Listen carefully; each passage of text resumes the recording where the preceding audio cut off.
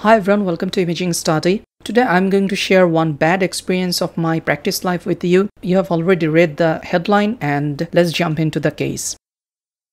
A 31 years old married female patient came to us for fetal echocardiography at her 26th week of gestation. The patient was our hospital staff and when we did the ultrasound scan, we have found Fallot's in this case along with some other abnormalities which I will try to discuss on a separate video. The patient's economic condition was not so good and the spouse took the decision to go for the induced abortion in this case. That was a very depressing experience of my life. Our team just made the diagnosis but uh, we were not aware of this situation going on.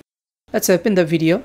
Look at the fetus. It was a very beautiful four-dimensional ultrasound and you can see the sad face of the fetus. This was one of the best 4D images that I have captured in my practice and unfortunately they took the decision to abort this baby. That was very sad for my practice and I was too much depressed at the time. We tried to consult the patient party about the treatment procedure that we can do, but the patient party due to economic situation didn't want to continue this pregnancy after a week following abortion, suddenly on the road, I met with the patient and she was looking at me like I was the main criminal who made the diagnosis. This is the worst experience of a doctor who practices anomaly scanning or fetal echocardiography.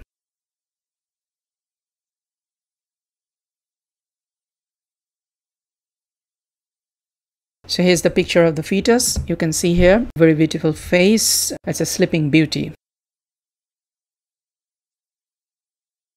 I use this picture a lot.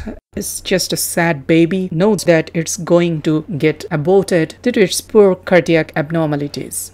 Thank you for watching this video. I usually don't share this type of experience with you, but it's the 99th ultrasound case video as far I know. So I just try to make something unusual. Thank you for watching this one. See you on the next one. Have a nice day.